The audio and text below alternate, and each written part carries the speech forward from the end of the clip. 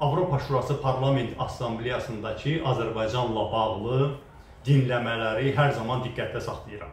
Xatırladıram ki, hörmətli izləyicilərimizə, mən 2005-ci ildə özüm belə bir dinləmələrin birində məruzəçi olmuşam və məhz orada Azərbaycan parlamentinin nümayəndə heyətinin mandatının tanınmamasını istədiyimə görə, yəni 24-cü ilin yanvarında verilən qərarı mən 2006-cı ilin yanvarında təklif eləmişdim. 18 il sonra verdi Avropa Şurası Parlament Assambleyası həmin qərarı.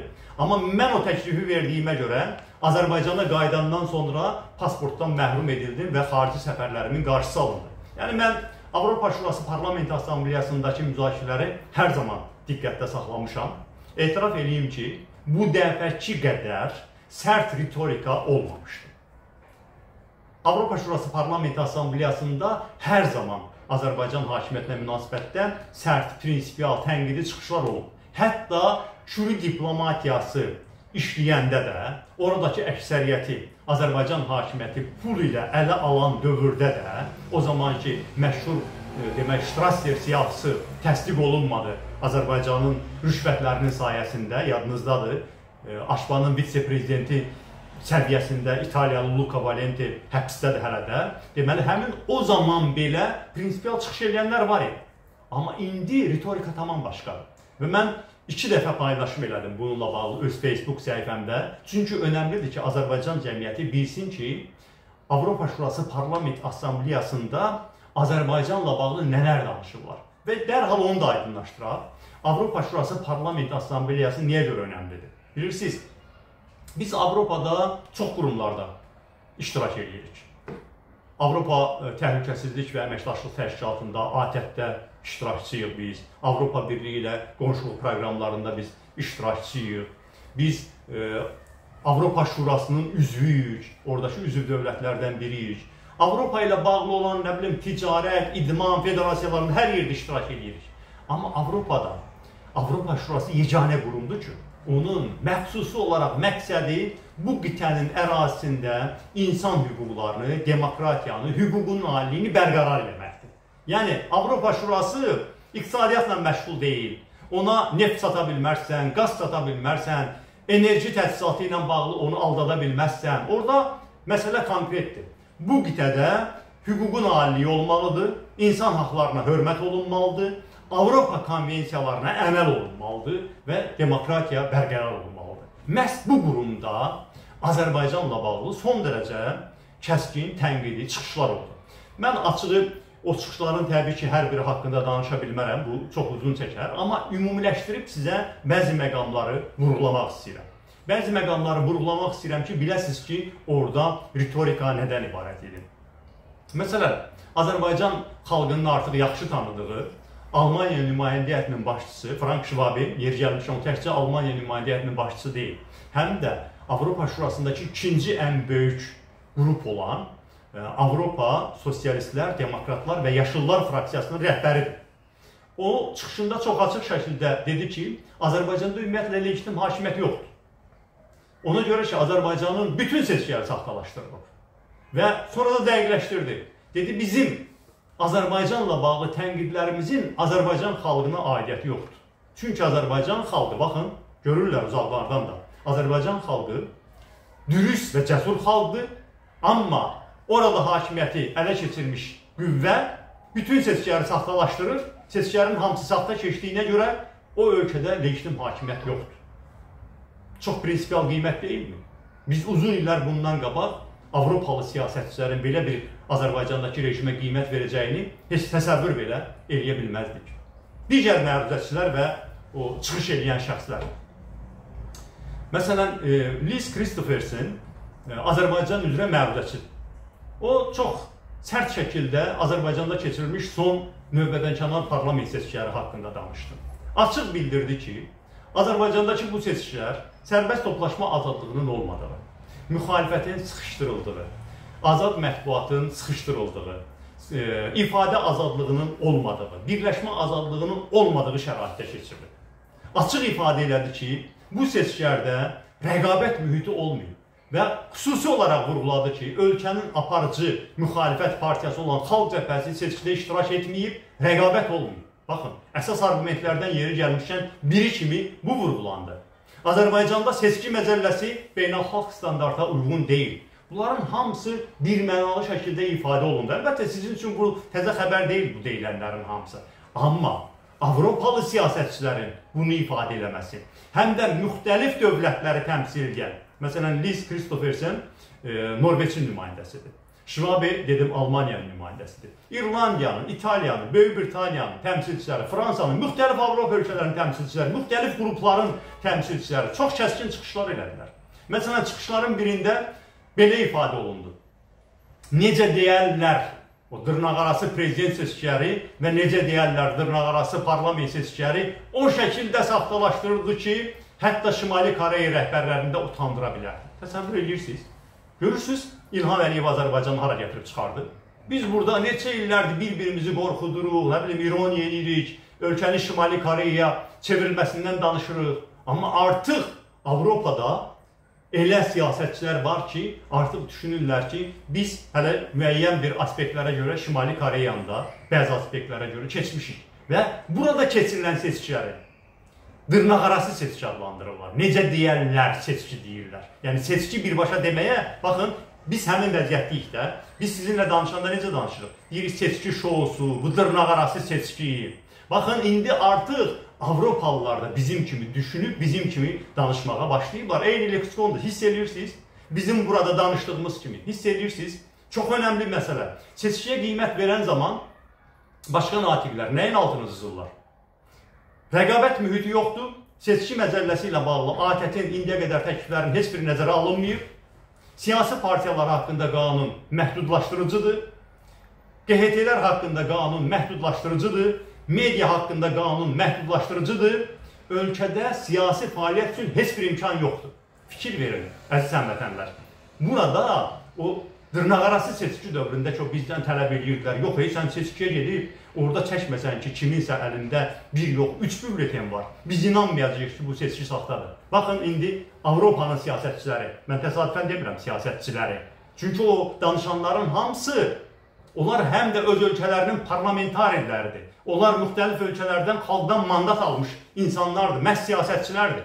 Onlar özləri öz ölkələrində əvvəl parlamentə seçilirlər, sonra oradan göndərilirlər Avropa Şurası Parlament Assambleyasına. Azərbaycan kimi deyil, onları siyahı ilə seçilməyiblər. Və onların hamısı başa düşürlər. Nə deyirlər Avropa Şurasının Parlament Assambleyasının üzvləri? Deyir ki, bütün dünyada seçkilər xalqın iradəsini ifadə etməkdən ötürüdür.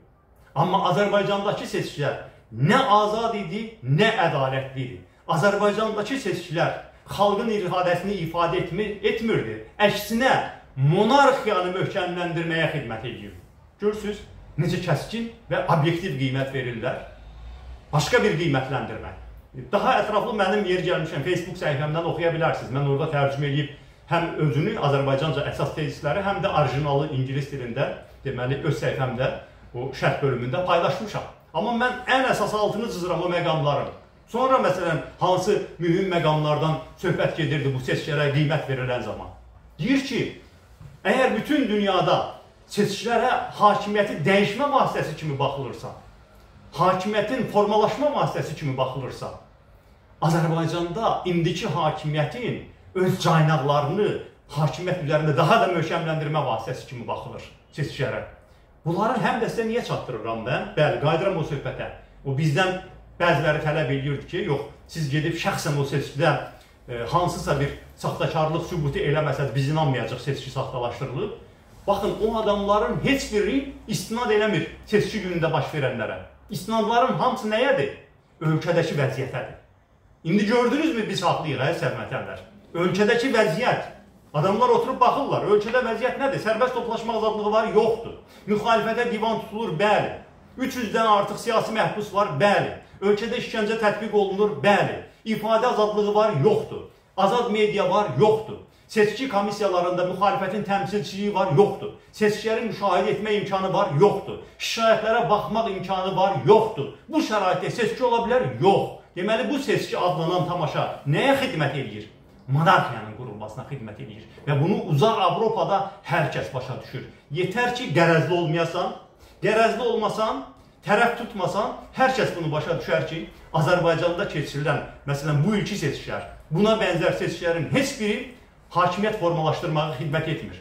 Mövcud hakimiyyəti əlində saxlayan qüvvənin daha da caynaqlarını, ifadə da yer gəlmişkən, caynaqlarını daha da möhkəm şəkildə deməli hakimiyyətdə möhkəmləndirməyə xidmət eləyir. Ona görə də Avropa Şurası Parlament Assambleyasındakı bu müzakirələr iki baxımdan bizim üçün çox önəmlidir. Birincisi o baxımdan ki, nəhayət biz indi əmin ola bilərik. Artıq Azərbaycanda nə baş verdiyini dünya bilir. Yəni bizim o ətrafımızda informasiya blokadası vardı. Azərbaycan hökuməti çürü diplomatiyasından istifadə edirdi. Müəyyən geopolitik maraqlara görə, iqtisadi maraqlarına görə, enerji maraqlarına görə haqqa nahaq deyirdilər. Azərbaycan hakimiyyətindən pul alıb örtbasdır eləyirdilər siyasi məhbus məsələsini, seçki saxtakarlığını örtbasdır eləyirdilər. Pulla bura gələn müşahidəçilər çıxıb üzümüzə ağ yalan deyirdilər ki, seçkilər çox yaxşı keçirilir. O mərhələ arxada qaldı. 2 çox önəmlidir ki, bunu hansısa bir ölkənin təmsilçisi eləmir. Bunu hansısa bir siyasi qrupun təmsilçisi eləmir. Baxın, mən orada öz Facebook səhifəmdə adları ilə bərabər hansı ölkəni və hansı siyasi qrupu təmsil elədiyini deputatların yazmışam. Solçu da var, sağçı da var, mərkəzçi də var, yaşıllar da var, sosial demokratlar da var, ə, e, Xalq Partiyasının nümayəndələri var danışanların arasında və o cümlədən Avropanın əksər ölkələrinin təmsilçiləri var. Yəni Azərbaycan hakimiyyəti də müəyyən öz aləmində lobbiçilik işi görüb. İlk növbədə çox maraqlıdır. Hansı ölkədən daha çox dəstək almış olsa yaxşıdır Azərbaycan hakimiyyəti? Serbiyadan. Deməli ki, Azərbaycan hakimiyyətinin yadınızda var, mən tənqid edirdim ki, Azərbaycan hakimiyyəti Birləşmiş Millətlər Təşkilatındakı səs vermədə burada bizim qarşımızda özünü İslam, müsəlman tərəfkeşi kimi təqdim edir. Avropanı nədə ittiham edir? İslamofobiya, türkəfobiya yadınızdadır.